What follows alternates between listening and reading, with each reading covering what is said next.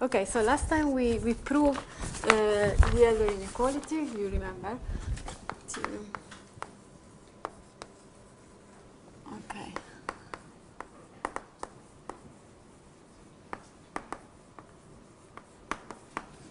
So basically it tells you that if you start by two, um, two functions, one of which is in LP the other one G, take it in LQ V with where P and Q are conjugate exponent, which means that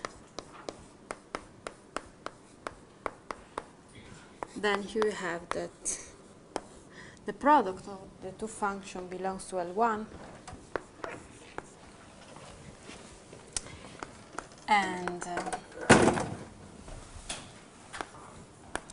and especially you can bound this L1 norm in terms of the product of the LP norm of F and the LQ norm of G. Okay. Okay, beside this, we prove the Minkowski inequality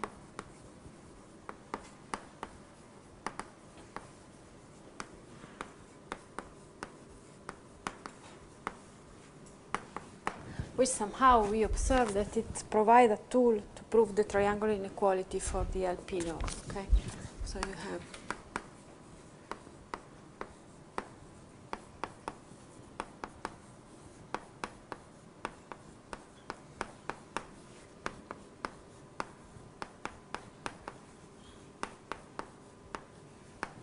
Okay, so we go on with our analysis.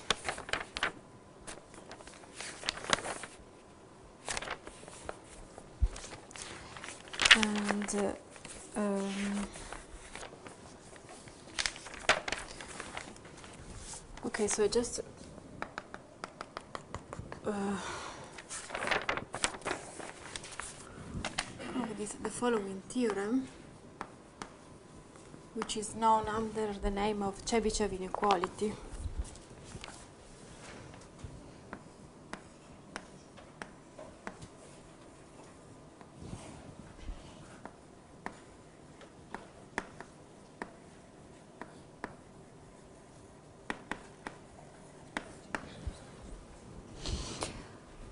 Okay, so you start by p less than infinity and take f a function which belongs to LP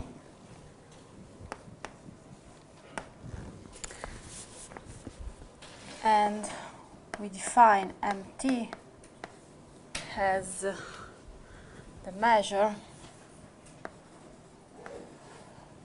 of uh, the point where the modulus of f is larger than t. Um, okay, so we have that.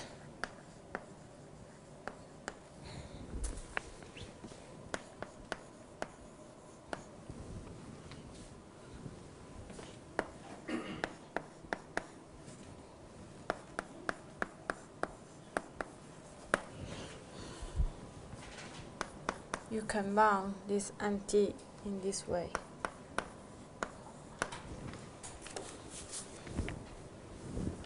Okay, of course this is a consequence of another version of the Chebyshev inequality that we already proved, okay?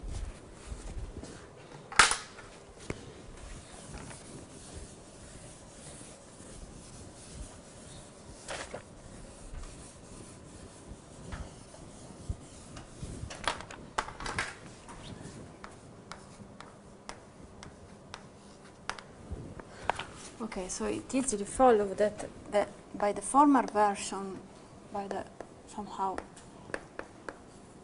former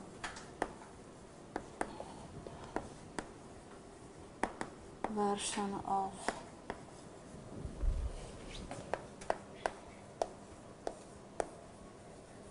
the Chebyshev inequality.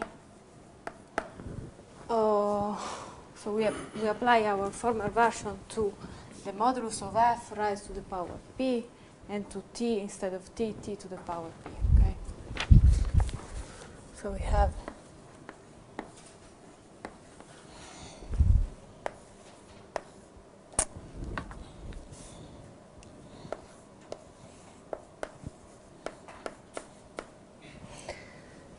the measure of this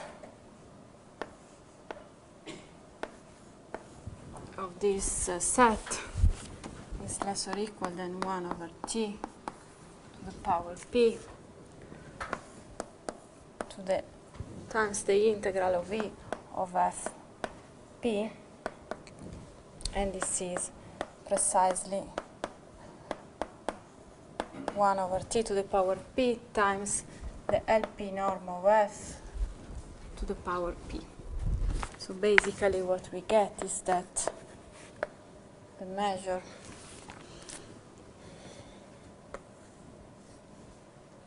Okay is, is what we want okay? T. Being this two quantity the same.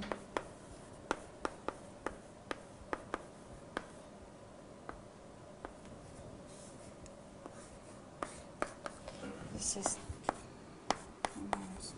uh, sorry less or equal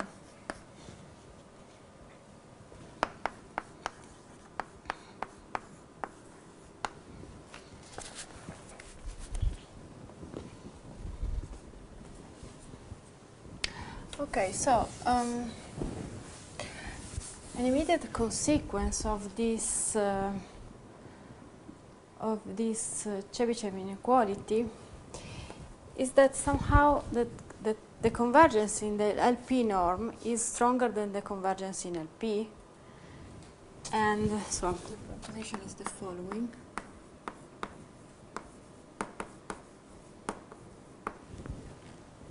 And moreover, if you have that a sequence uh, fn converges to a function f in LP, then you can extract a, a subsequence of the original sequence which, which converge pointwise uh, everywhere, almost everywhere to the function f. So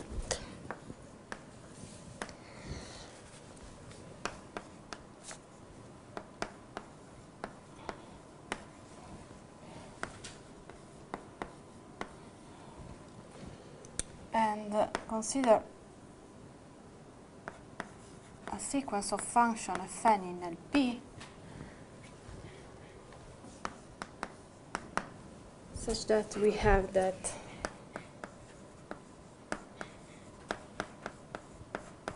goes to zero, okay? As n tends to plus infinity. This is the convergence. This is what I mean when I say uh, this means that Fn converges to F in LP.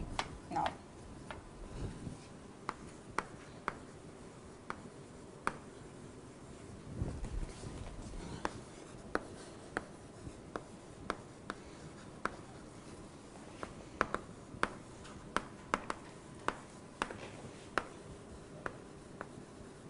Okay. Okay, then what we want to prove is that To F in measure.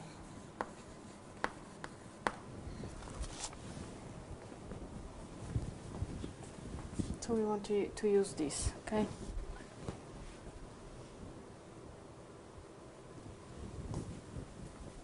So it's clear, no? How you use this, you fix an epsilon.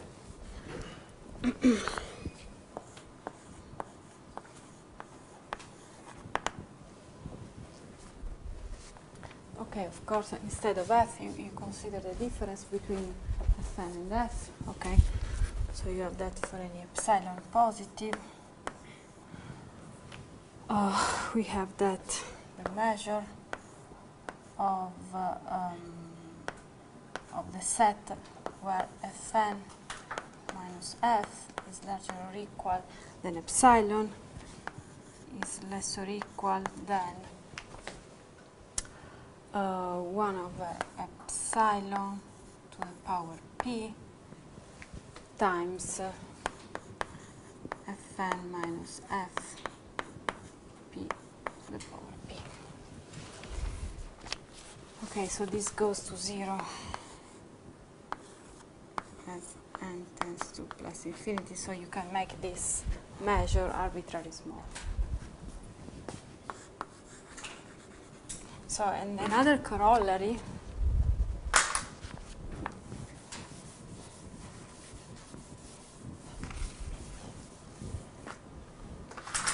Uh, corollary of, of this proposition somehow. Is that if you have that if you have a sequence fn which converges to f in lp then there exists uh, a subsequence. Actually, you, you can claim this just for a subsequence.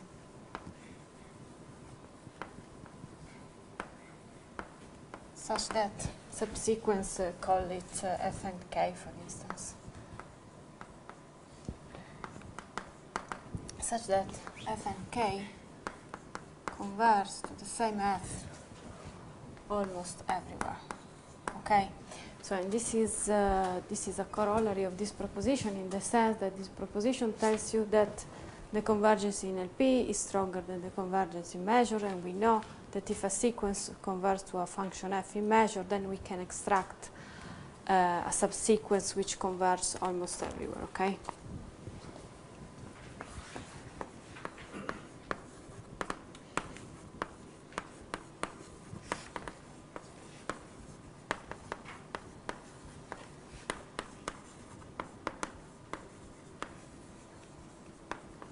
measure this is for uh, previous proposition. And from this we deduce that there exists so we prove this no? There exists a subsequence such that fn of k equals to f almost every. Okay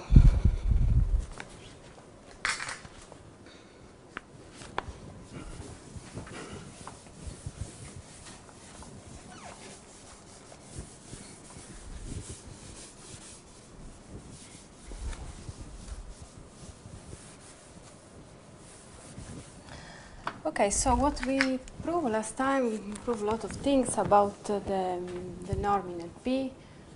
We, we finally proved that it is indeed a norm. What is, it remains to prove is that this, the space LPE is complete, okay? Because of course for application only complete spaces are interesting, okay? So the theorem, which is known under the name of uh, Riesz Fischer.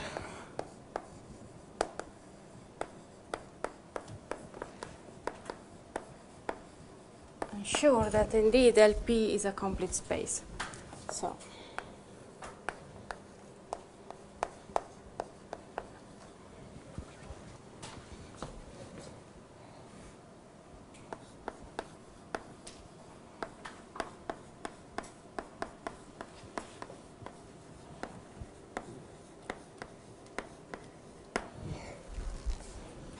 Okay, so we uh, we distinguish two cases. Um, the cases in which p is in between 1 and infinity, but doesn't take the, the values infinity. And then we will consider the case when p is equal to infinity. Okay, so we want to, to prove that the space is complete, so we start by a Cauchy sequence in LP. Okay, so let Fn be a sequence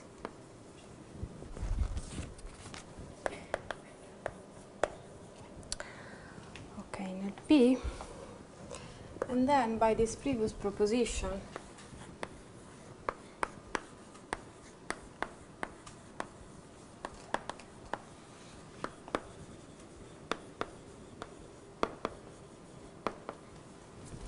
Okay, we have that, what we somehow we already observed.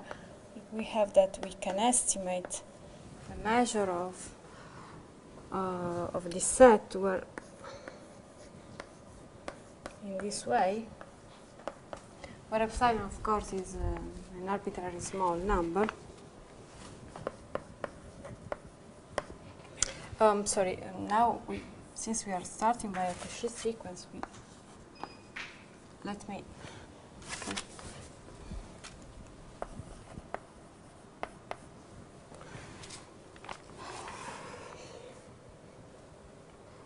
Uh, okay. And this goes to zero as and, and then goes to plus infinity. So in particular we have that the sequence Fn is a Cauchy sequence in measure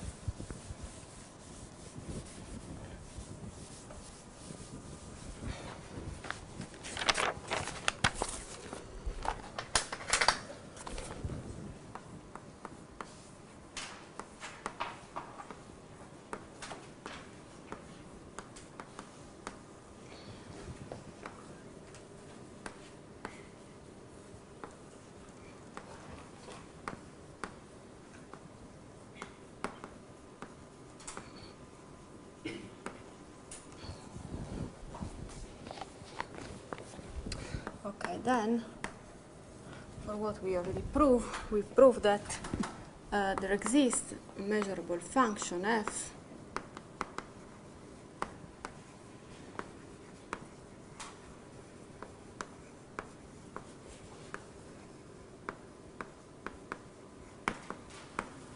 And a subsequence um, so and subsequence fn, fnk call it subse se- sequence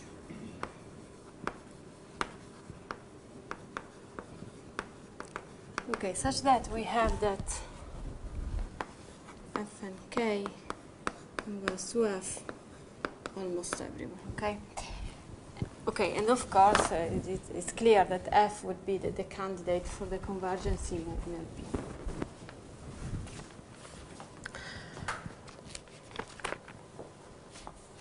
Uh,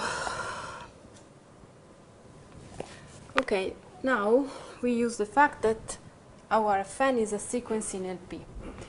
Okay, so since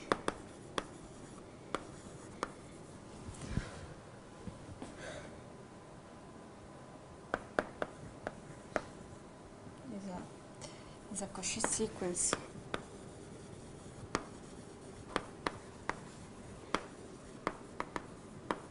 P, we have that for any epsilon positive, there exists an integer n, such that for any index n and m larger than uh, n, we have that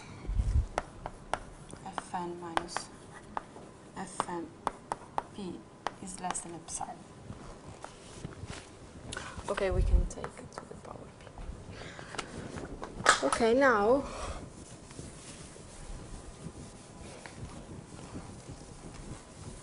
if you remember, uh,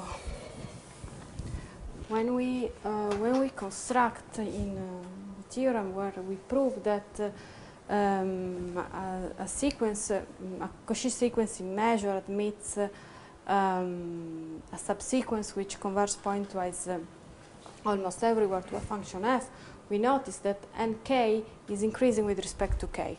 I mean, we prove that with, no, with no loss of generality, we can assume that this index nk is, uh, is increasing with respect to k. So we, we, we still need this. uh, and so we have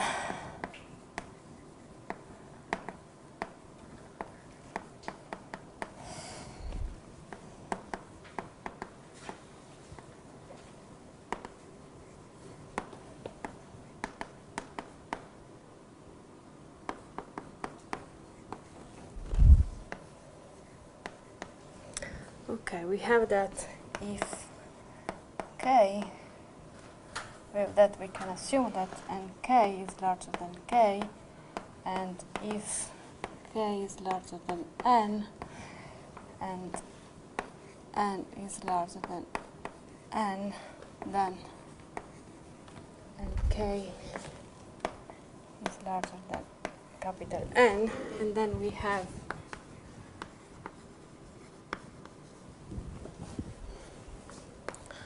okay that we estimate the, the norm LP norm of this. Uh, okay which is uh,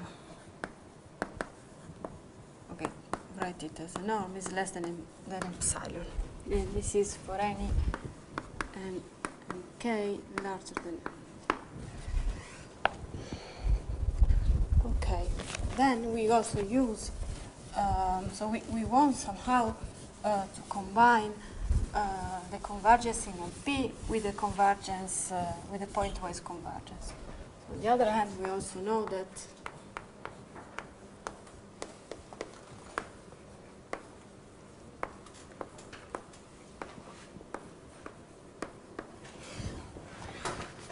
Uh, we have that fn minus fnk, this modulus to the power p, converse.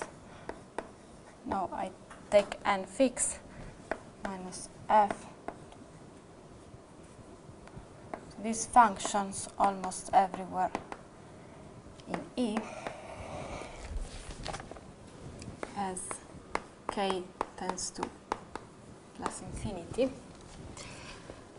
And then here, so we use the Fatou lemma. So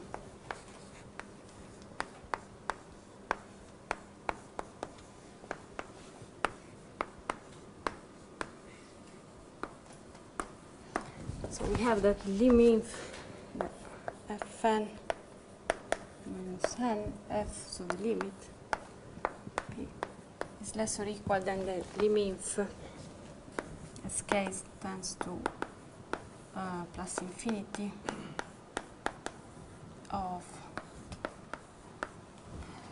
uh, fn minus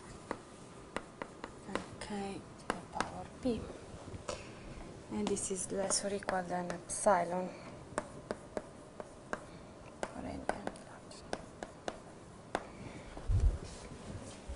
So what we prove is that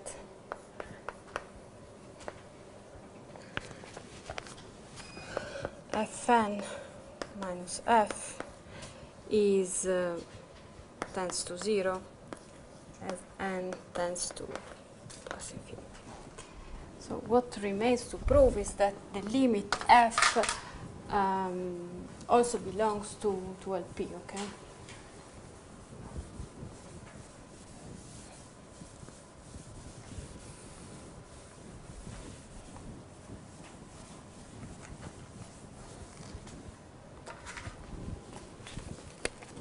Okay, so we want to estimate the LP norm of F. Okay, we use uh, uh, triangle inequality.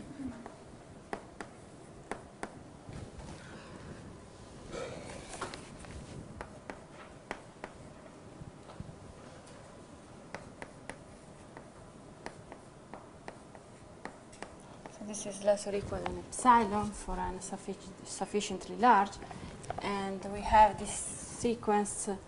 Um, it's a sequence, so it's uh, it's uh, it's uniformly bounded by by by some hand. Okay, and so this is this is finite. Okay, this is for any n larger than some.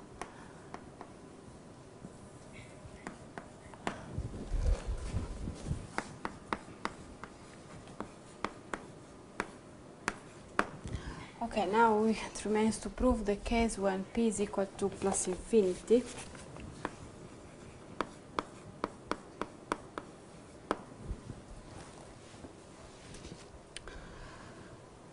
Okay, so we fix uh, two index n and then to positive integer, integer and we we have that we recall how it is defined um, the L infinity norm is the essential supremum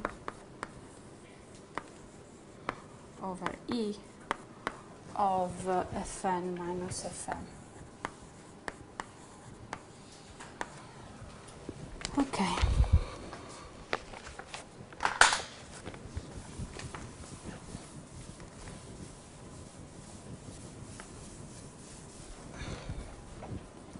by definition of essential supremum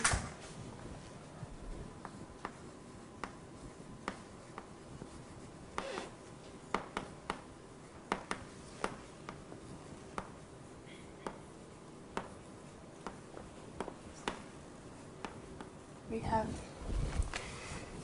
that there exists a set which depends on those two integers.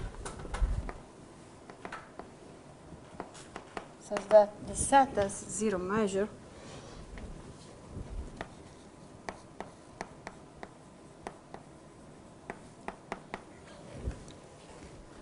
and uh,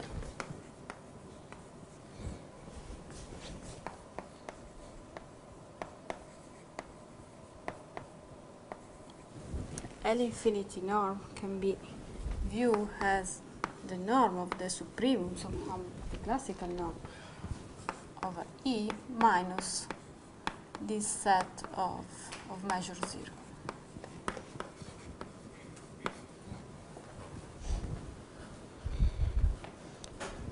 Okay, so the idea is that we want to remove this set of measure zero over all the possible integer n and m. We are doing anyway countable operation. Okay, so you define A as the union over n and m of E and m. Okay, so since we are doing countable operation, we have that the measure of A, oh, A is 0. And okay, so we define uh, B as the set E, so our the domain, minus this set of measure 0.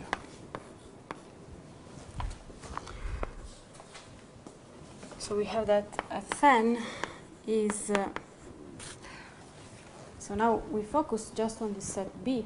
So our original sequence of n is a Cauchy sequence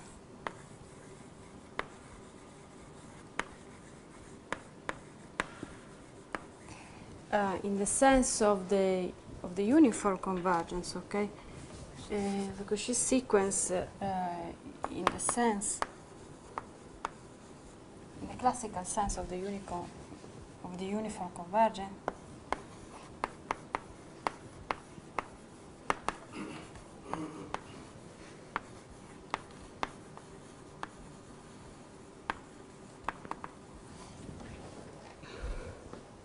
in B and then we have that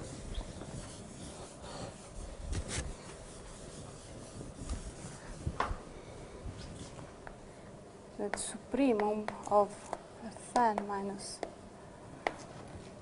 Fm B goes to 0 for and then that goes to 0 so hence we have that the limit exists.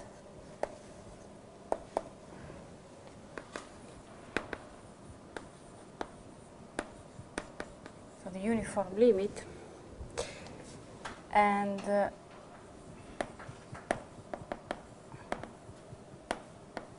so we can extend f outside of b so in a for instance you can put it equal to zero so yeah here yes? So when p is equal to plus infinity, we define the LP norm in that way. Okay, this is this is just a definition. So if you remember the essential, the essential supremo, if you look at the definition, is is uh, yes, is infimum, and uh, it, it's defined up to a set of measures zero, which are this one.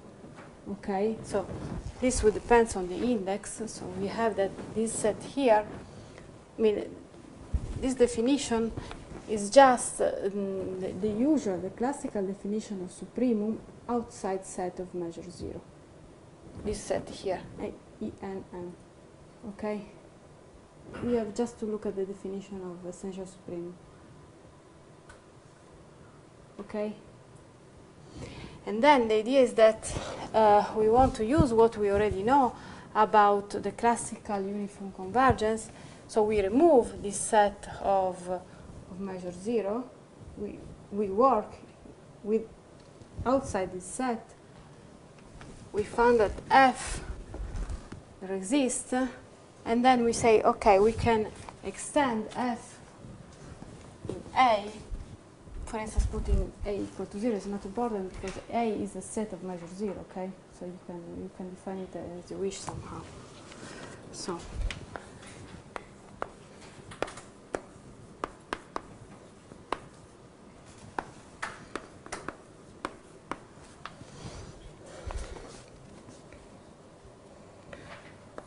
For instance, to zero, and in this way,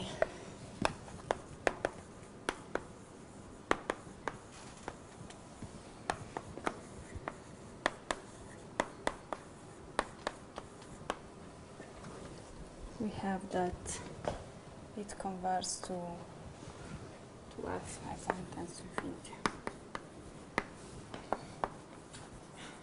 Uh, and of course, uh, the, the, the limit f belongs to infinity because it's, uh, it's uh, okay. Now we introduce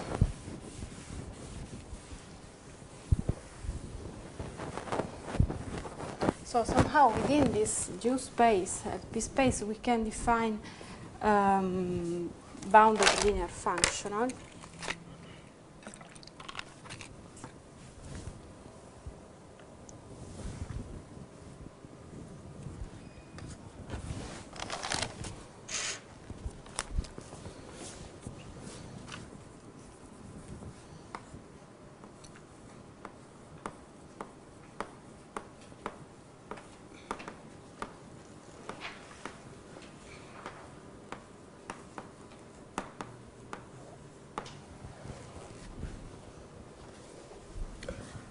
So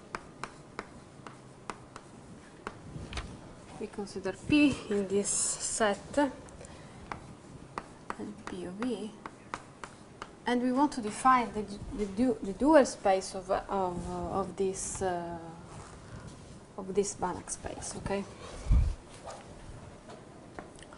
So we will uh, we, okay we will denote with LP uh, we put a prime. This is Uh, the dual space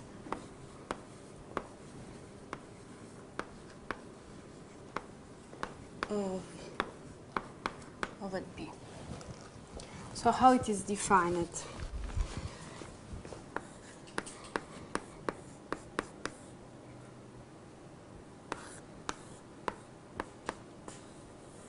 So this is a space of functional. So we have a G, a functional G, between uh, which takes values in LP. So not takes value. I mean uh, the, the, element are in LP and takes values in R. Okay, G is linear and continuous.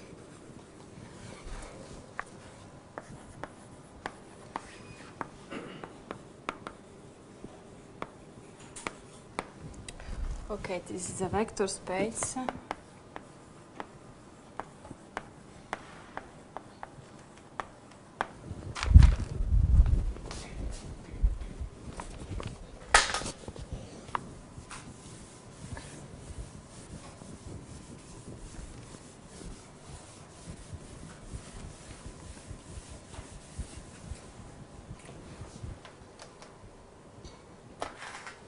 So in particular, you have that if you take a linear combination of uh, gf1 plus plus this is okay, this is trivial, this is alpha.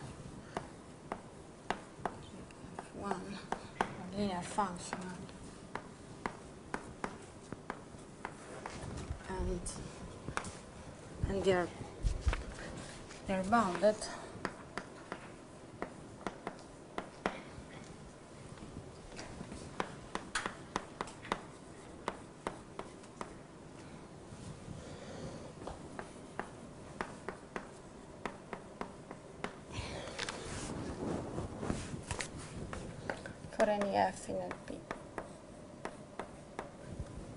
So somehow our final aim would be to, to, to characterize this, uh, this functional uh, G, okay?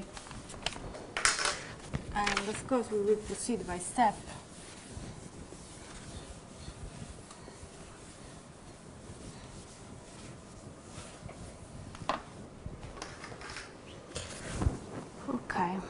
we need to prove this proposition.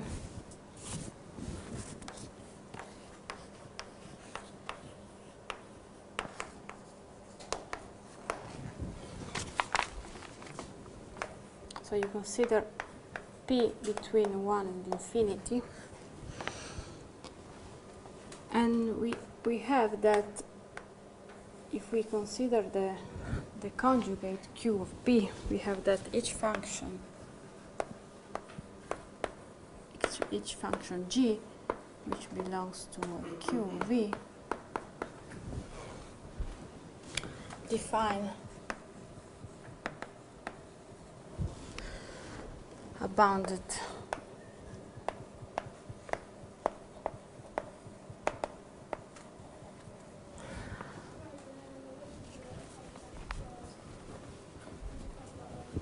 Hmm? Sorry? Ah, yes. Sorry. Yes. Thank you. Yes, I. Yes, yes, yes. Thank you. Uh, bounded linear uh, functional.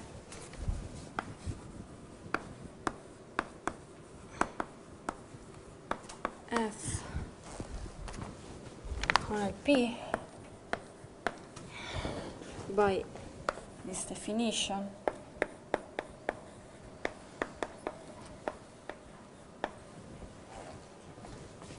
take the product of the two okay? And moreover you can also say something about um, the norm of this big F which is precisely equal to the norm of G. The LQ norm of G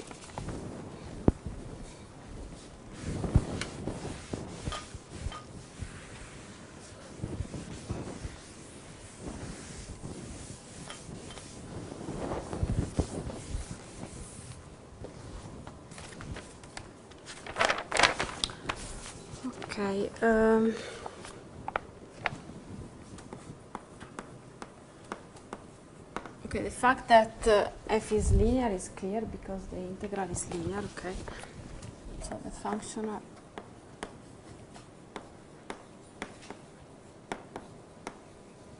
f is clearly linear. Okay, since the integral is linear.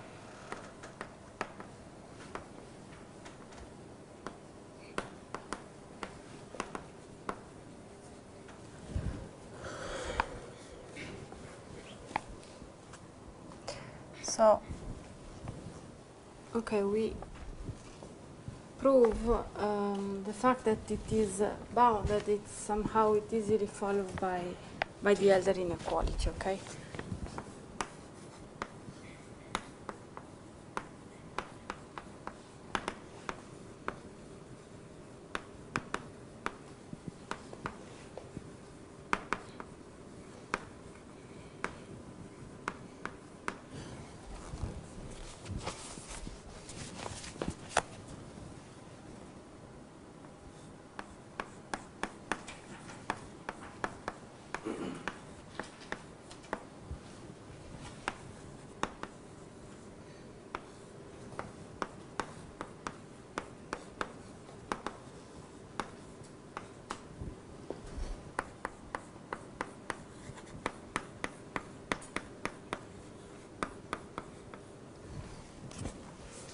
Okay, so we have, uh, so by definition of, um, so the norm of f as functional is equal to, okay, it's less or equal than, um, than the norm of GQ. Okay, this is the supremum of uh, this quotient, so, uh, so we are done. So what remains to prove is that is this uh, equality, okay?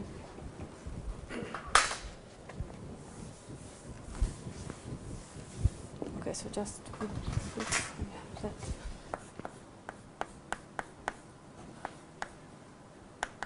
define it as the supremum over f in LP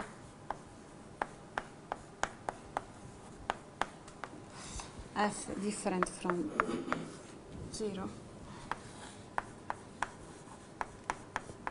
okay okay so we want to prove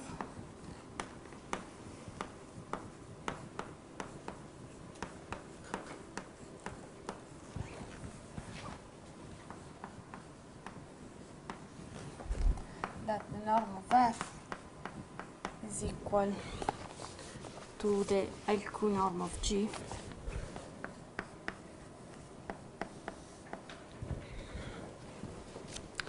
Uh, so somehow it's better to divide the proof in three cases.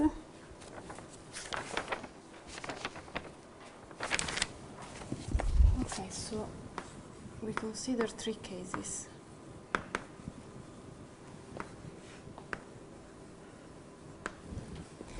Okay, the first one is when P is strictly in between 1 and infinity.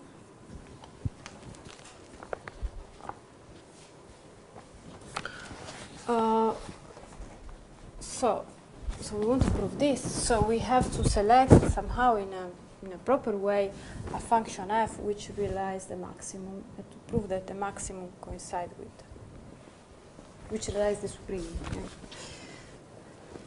So we have uh, we want to select a function f in p which realizes the supreme.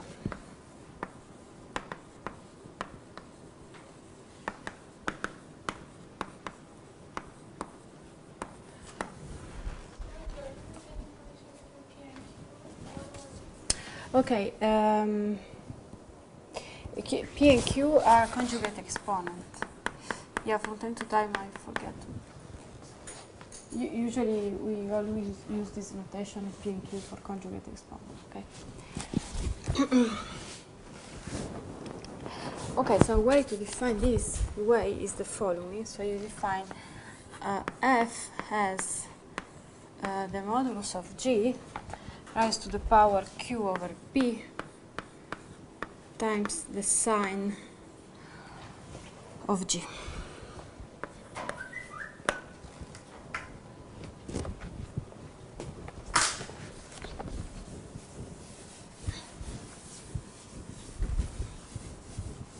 Sign is it the sign function?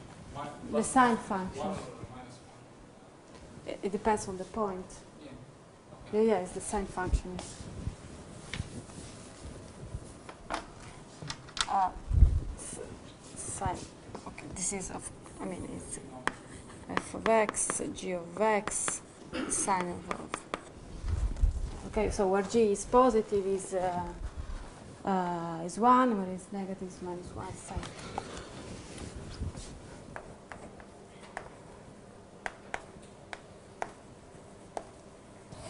Okay, so we have that f to the power p by definition is g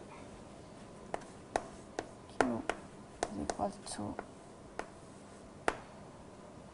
um,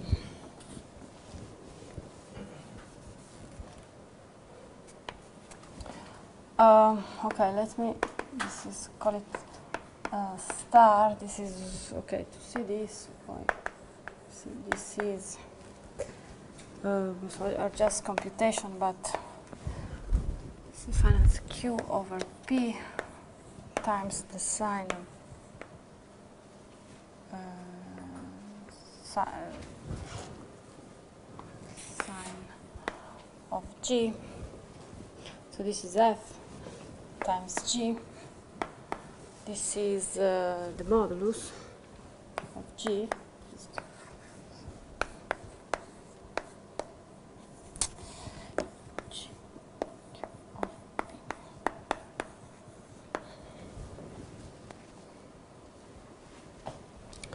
p. And so, since these two are conjugate exponents, so you have that q over p is equal to q minus 1 and So you have that this is Q P um sorry Q minus one.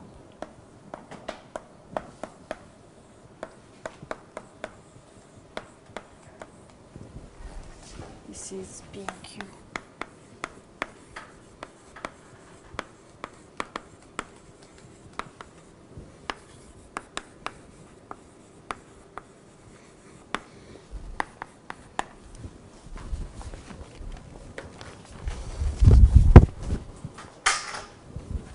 Okay, so we continue.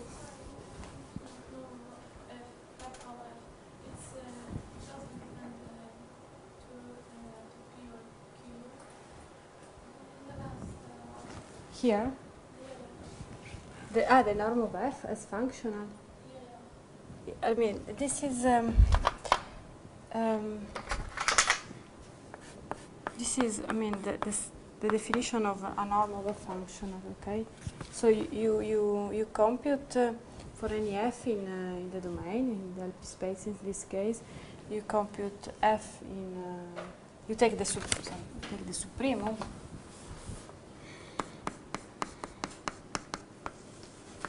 Okay, this is a general definition. Doesn't uh, not.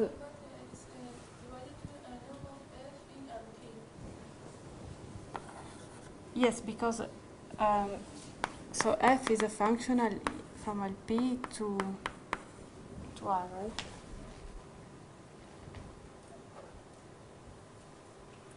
So G is fixed.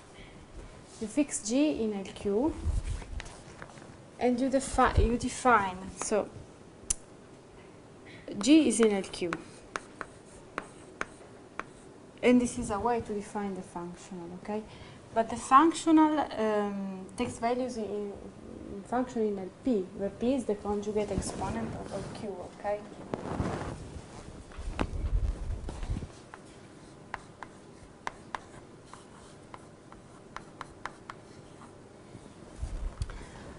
Let's see, so this-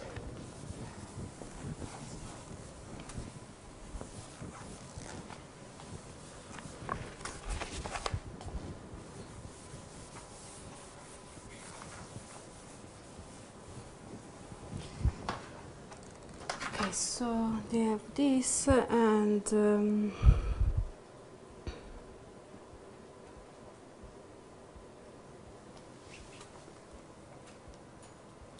okay from this so okay since we know that our special choice of f leads to this we have that uh, and we know that um, since g is in q by by hypothesis then from this we have that f is in p because we still did not check. Okay now we know this. And so it's uh, we can we can uh, uh, we can test our functional capital F on, on this f, okay, and see what happens. So, okay, so we have, by definition, this is f times g, and we use this, and this is g uh, q. and uh, so we are done, right?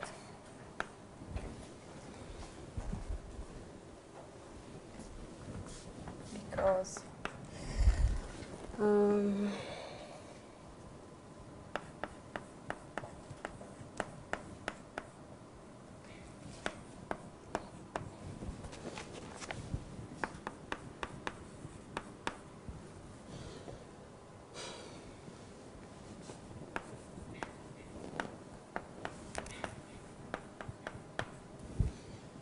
p mm, times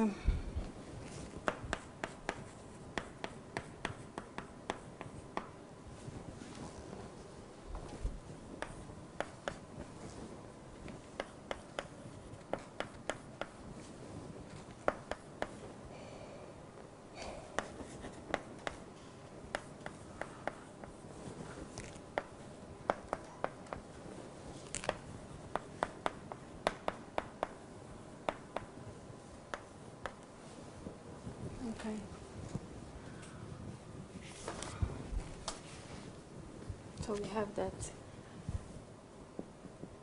the supreme is achieved in this choice of for this choice of f, and actually the norm of f is equal to the LQ norm of g.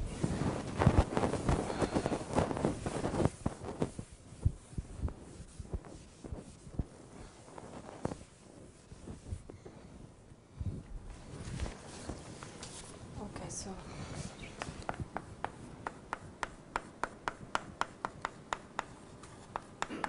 okay now we have to consider the case when when the p is equal to infinity and uh, for instance q is equal to 1 their conjugate exponent. So in this case we have that our functional f goes from an infinity v with values in r. And okay it's defined as we know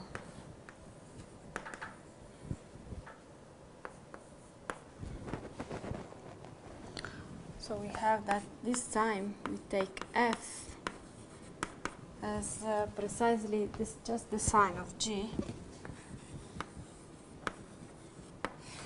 Uh, okay, of course f is in an infinity because it takes uh, finite values.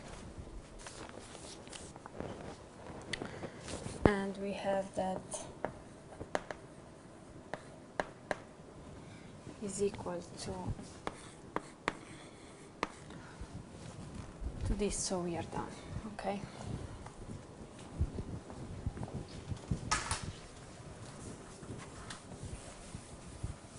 So the last case is when p is equal to 1 and q is equal to, uh, to infinity.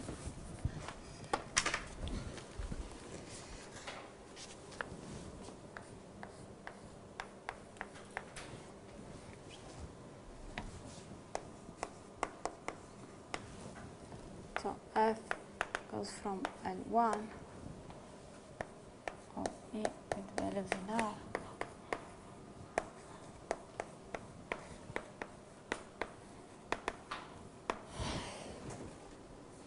So we want to prove, I just want to um, remind you.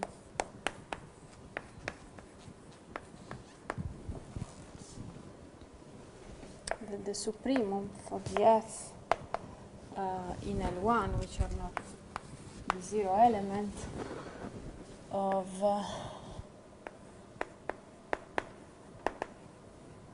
of this quotient L1 is equal to the L infinity norm of, uh, of G.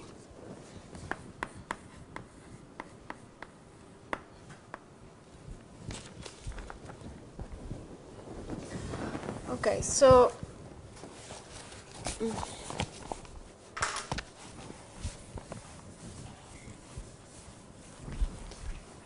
G is, uh, okay, we start by observing the trivial case when G is equal to 0. Of course, there's nothing to prove, okay?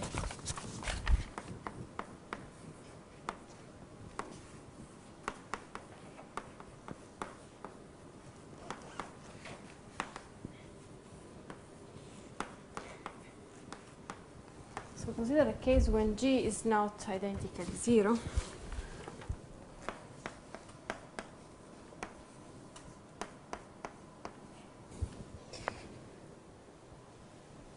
So it's, it's different from zero on a set of positive measure.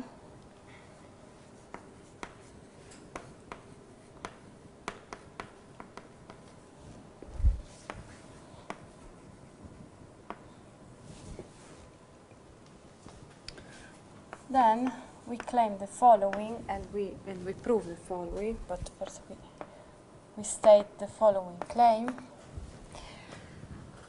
We have that for any integer k positive, such that uh, the L infinity norm of g is larger than k, then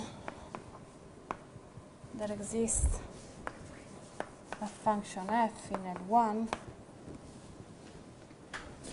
of v such that this function f in L1 is equal to 1 and uh, such that this integral is larger or equal than k. So in that way,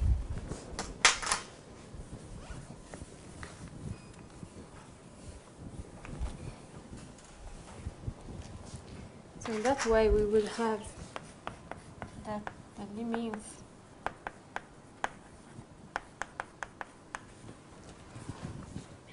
over k of this function f, which of course belongs um, depends on k, g is larger than g infinity because of this.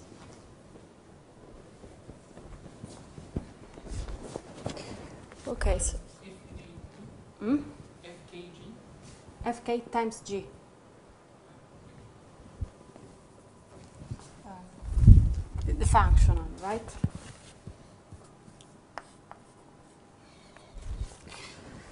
Okay, so we, focus on the set ek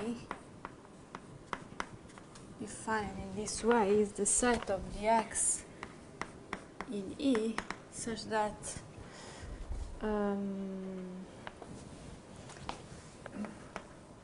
G is larger than K.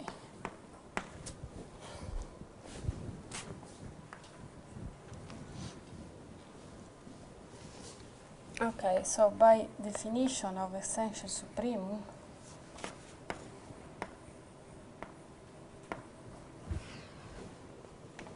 we have that.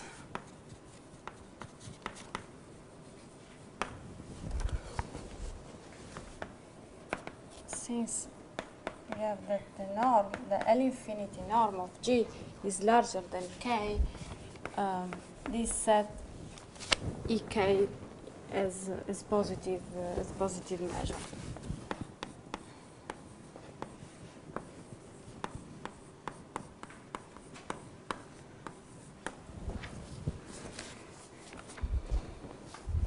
Okay, then we distinguish um, somehow within this part of the proof two further cases. In the case when, um, so we know that EK has a um, positive measure, so we assume that beyond being positive is, is finite. Okay, if the other case will be treated um, using this one. Okay, then we can we set function f that we want to construct in this way. Take 1 and divide by ek, the measure of ek, this makes sense, times the characteristic function of ek times, uh, one more time, the sign of uh, the sign function of, of g. Okay, now we compute the functional for this choice of f. So we just substitute, and what we get is the following.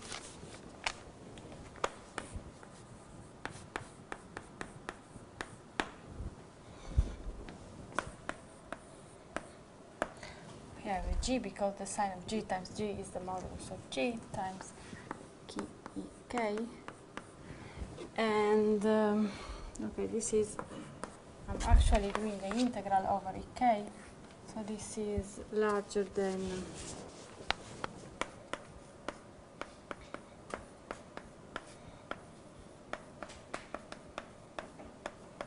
this is precisely equal to k.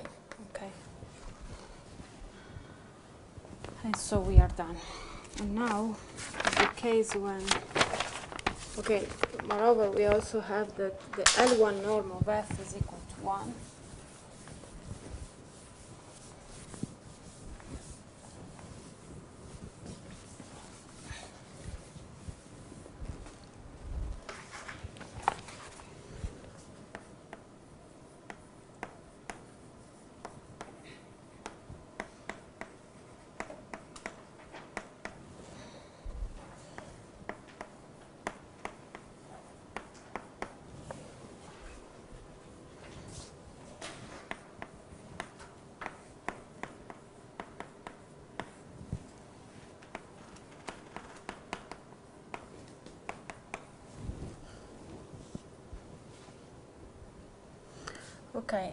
And the other case when the measure of ek is uh, is um, plus infinity can be treated uh, somehow analogously to this. We just observe that if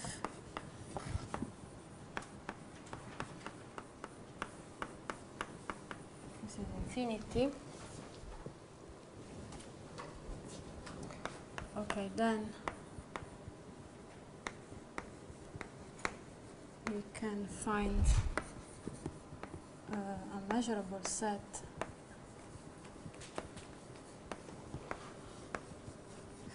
uh, fk, call it fk, such that you have that fk is contained in uh, in ek. It has a finite measure, but finite measure but positive measure. Uh, because for instance you can observe that in general you can split this is thing that we already saw that ek you can uh, you can see this as the union over n of ek intersected uh, minus n n okay. This is finite measure and so and then uh, once we do this we define the function f using this um, set fk and we proceed as before, okay?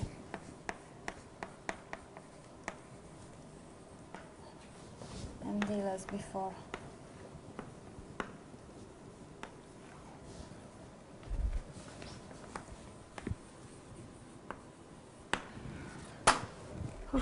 So this concludes this proof.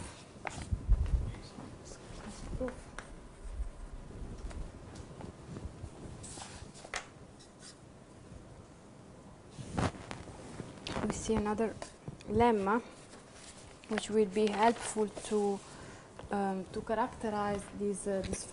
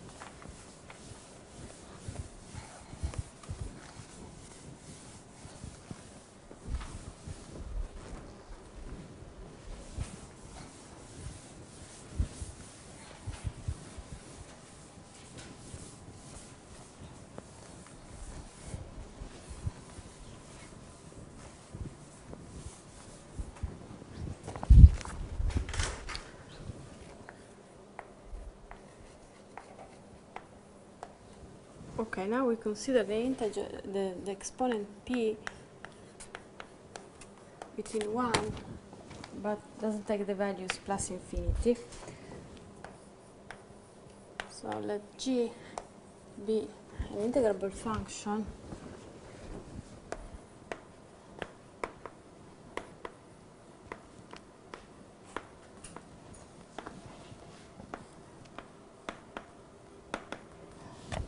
over over e. And we want e to have finite measure. And we assume that there exists a constant m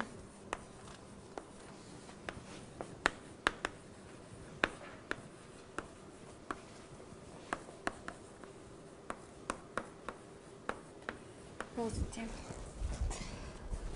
such that we have that the following bound holds so we have that the absolute values of f times g is less or equal than m times the LP norm of f. And this must be true for any f uh, for all bounded and measurable f. Okay, so um, so mean somehow it makes sense to consider the LP norm of f because uh, we are saying that the function f must be, of course, measurable and bounded, and we are within um, a set of measure finite measures. So this norm is finite. Okay, so in particular they are in, in LP. Okay, then the conclusion is the following. Then, if we know this, we can infer something about G. We know that G is uh, in LQ.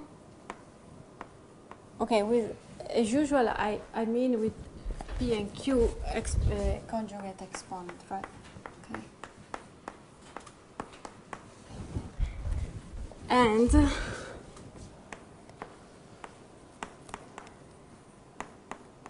the LQ norm G can be bounded by M.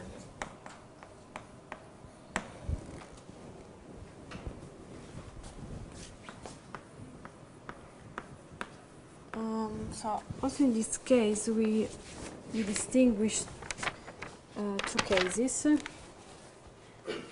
On the first one, when p is in between uh, in, in the open interval 1 and plus infinity,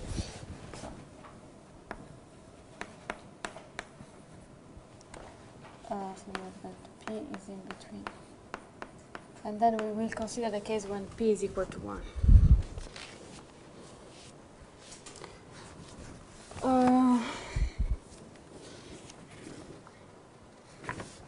so we define, starting by g, a sequence of measurable function in a usual way. Uh, measurable and bounded function, okay? So we define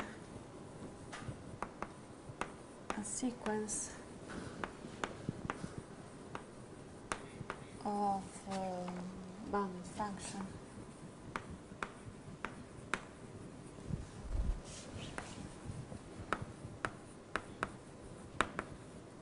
and call them gn for instance.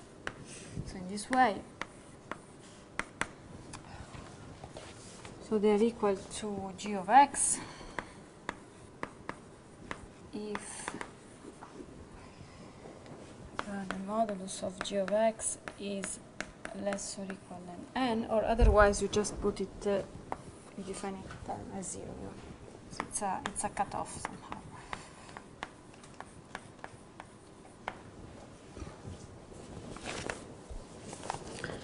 Okay, and uh, so starting from this function gn, we define other auxiliary function.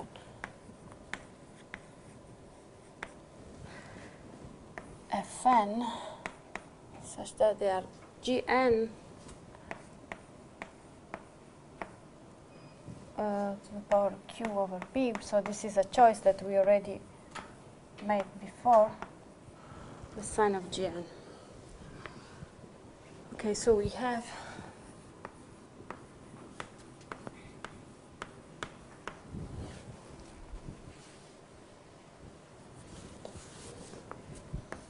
we compute the LP norm of this function f fn and this is okay by definition is just the LQ norm of the function gn power q over p. And um, okay, just let me observe that the modulus of gn to the power q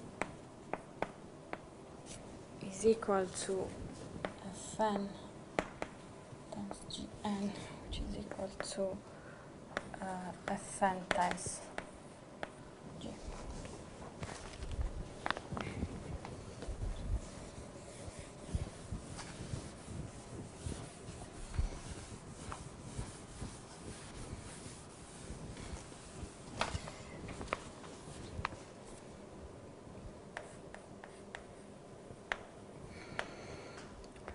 So what about this norm, q norm of gn to the power of q?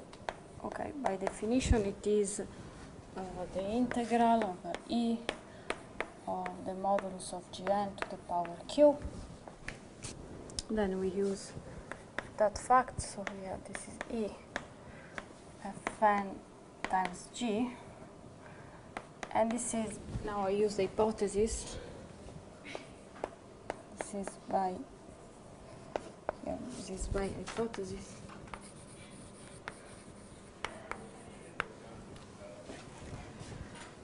Oh, is less or equal than m times fn power p, which is equal to m times I use that equality.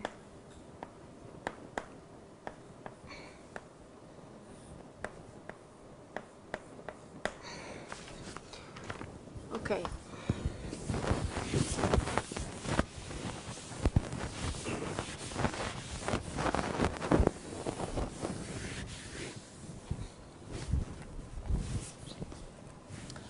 Okay, so now since we have that they are conjugate exponents, so q minus qb is equal to 1. So we have we have that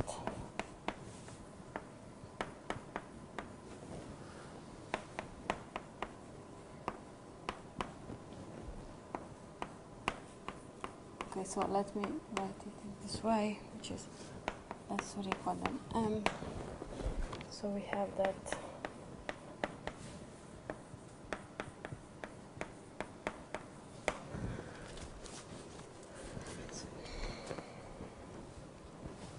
Okay, so this means uh, that this integral is less or equal than m to the power q. And moreover, we have that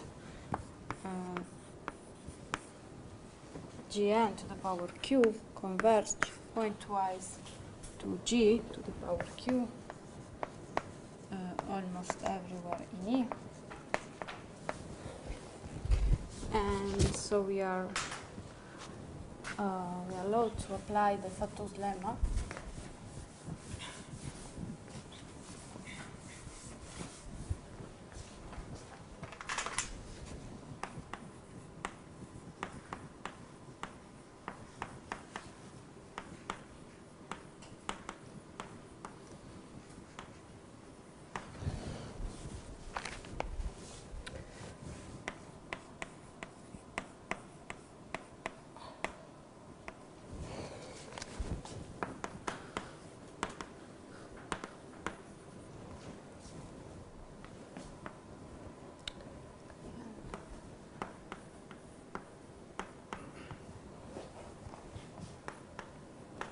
These are bounded.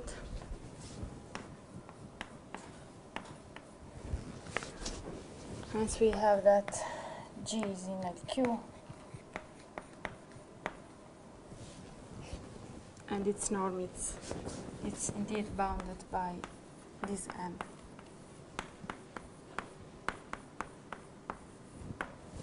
So this concludes the part uh, concerning when P lies between 1 and infinity. Okay. So for the other case,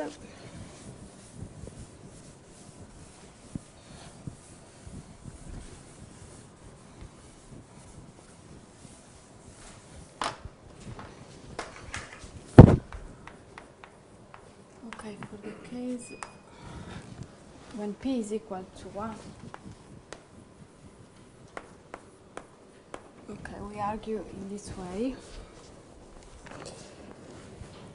Okay, so we, somehow we we define this this set F, which is the set of the point in E, where uh, the modulus of G is larger than M plus some plus some epsilon. Okay, so Okay, so g of x is larger than equal than m plus epsilon. So somehow, I mean, our goal would be, would be to prove would be to prove that the measure of f is is zero. Okay, again we perform a suitable choice of this uh, kind of test function f. So let f be defined as the sign of g uh, times the characteristic function of uh, this set f. Okay, so then we compute the what we are interested, so the, the L1 norm of f, we use the definition, so this is the integral of the modulus of f over e, we use this. Uh, this will be uh, larger or equal than f times g.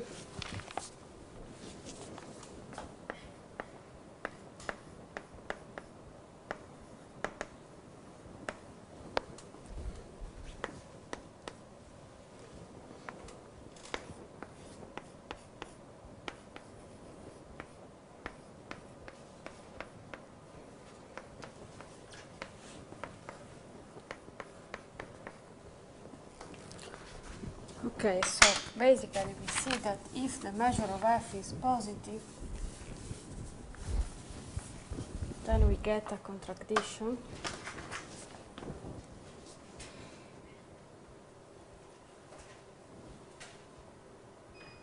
Um, sorry, I did a sign of. Sorry, I did a mistake.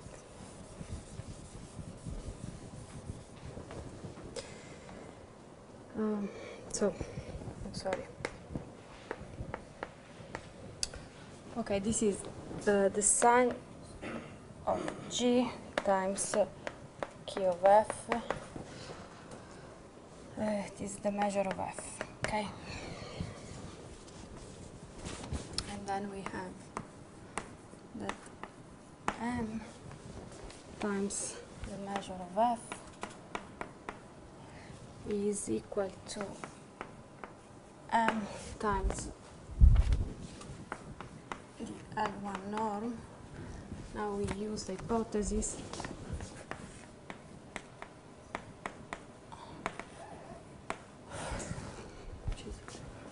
which is equal than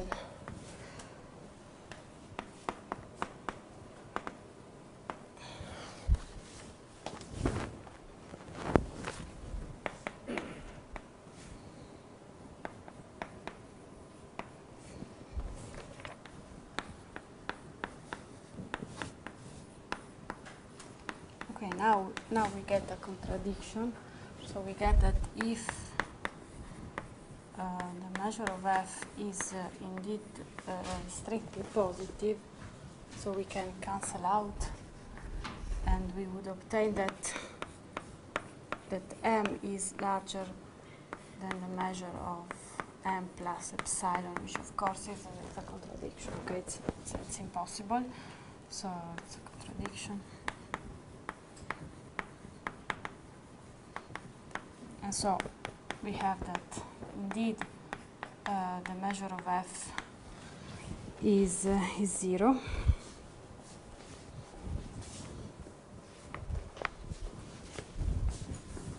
And so, and so we have that the L infinity norm of G is less or equal than, than M. So this concludes the proof.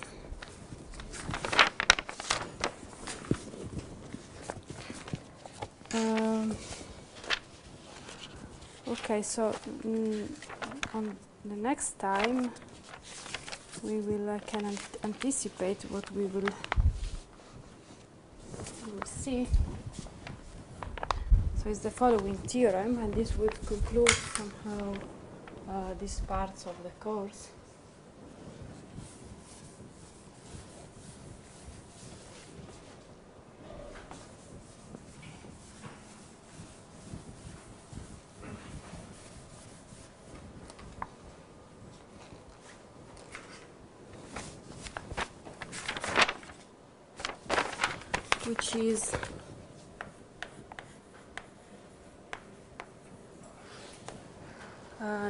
representation theorem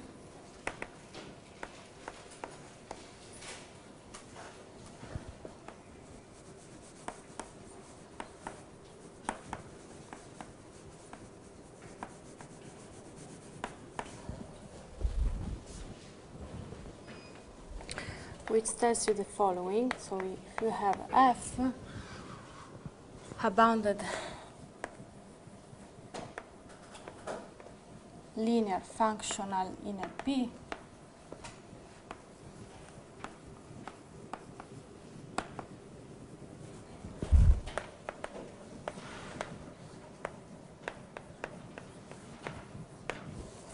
f goes from LP to R, then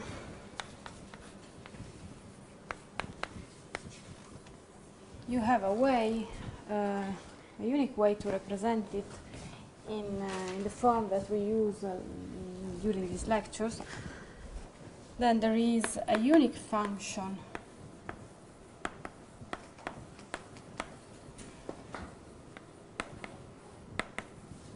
uh, G, which is in Q. Okay, where uh, P and Q are, are, are usual are conjugate exponent. Uh, such that you can represent this function, and this is why the name is representation, in somehow in a quite uh, convenient form. You have that f of f is defined as f times g, and moreover, we have